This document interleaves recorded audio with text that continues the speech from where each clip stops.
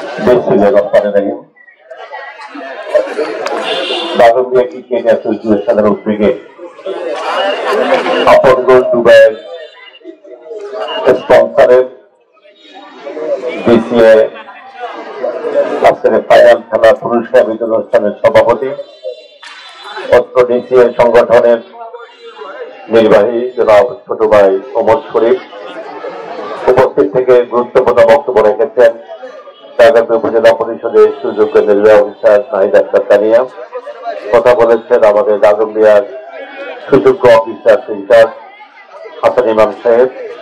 উপস্থিত রয়েছেন দাগম্বিয়া পৌরসভার সম্মানিত ফাইনাল মেয়র ভারপ্রাপ্ত মেয়র জনাব সেলিম সাহেব। উপস্থিত রয়েছেন মাতুরি ইউনিয়নের সম্মানিত চেয়ারম্যান, ক্রীড়া সংগঠন ক্রীড়ামোদী আজকের টিমের যিনি বিজয়ী ম্যানেজার জনাব আমাদের ছোট ভাই মামুন। উপস্থিত রয়েছেন দাগমিয়া সিস্টারের সমাজ সভাপতি সুর আলম সাহেব।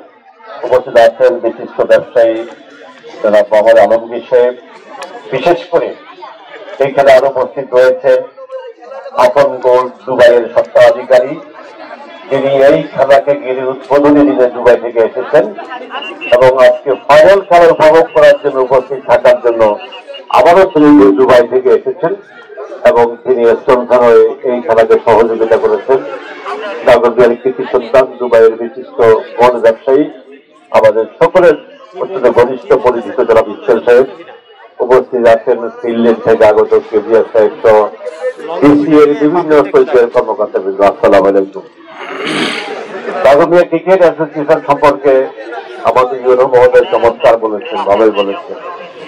আমরা আজকে দাগমিয়া ক্রিকেট নিয়ে দাগমিয়ার আমরা জনপ্রতিনিধি বা নাগরিক হিসাবে আমরা গর্ব করতে পারি যে দাগমিয়া ক্রিকেট অ্যাসোসিয়েশন দাগমিয়া উপজেলাতে প্রাণ কেন্দ্রে একটি খেলার কেন্দ্র পর্যন্ত তৈরি করেছে। এতদিন আমরা দেখেছি দাগমিয়ার বিভিন্ন অঞ্চল থেকে বিভিন্ন সংগঠন এই অংশগ্রহণ করেছে। ফেনী জেলার বিভিন্ন এলাকা থেকে সংগঠন অংশগ্রহণ করেছে। এইবার নয়টি দল ফেনী জেলার বাইশ থেকে এই ডিসিএ কাপে অংশগ্রহণ করেছে। আমাদের ইউনু সাহেবের শ্বশুর এলাকা অতি সাহেবের নিজের এলাকা। আমার তো নিজের এলাকা এখানে আমি আলিপুরকে যাবার কথা ছাড়া আমার রাস্তা নাই।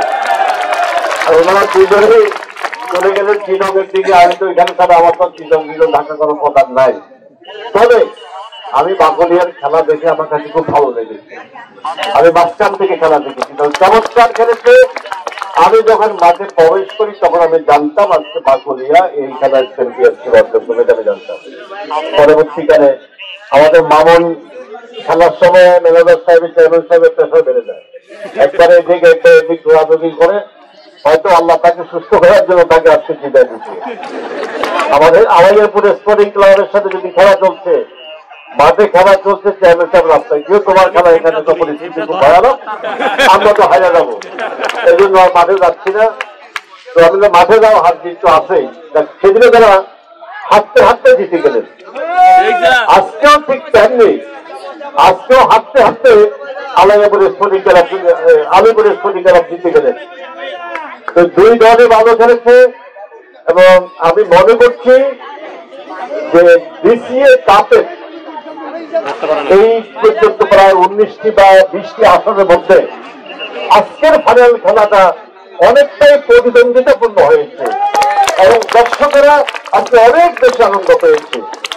পাশাপাশি আমি দর্শকদের ধন্যবাদ জানাই। এই চমৎকার পরিবেশে কোন প্রকার শব্দ নয়।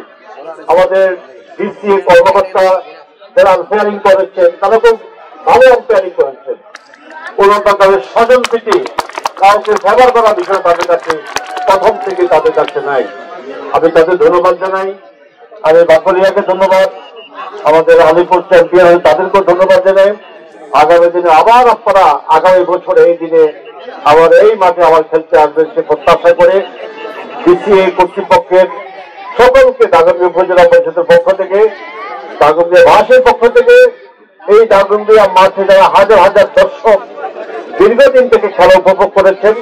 তাদের পক্ষ থেকে আপনাদেরকে ধন্যবাদ। অভিনন্দন জানিয়ে আমার বক্তব্য শেষ করলাম। জয় বাংলা, জয় বঙ্গবন্ধু।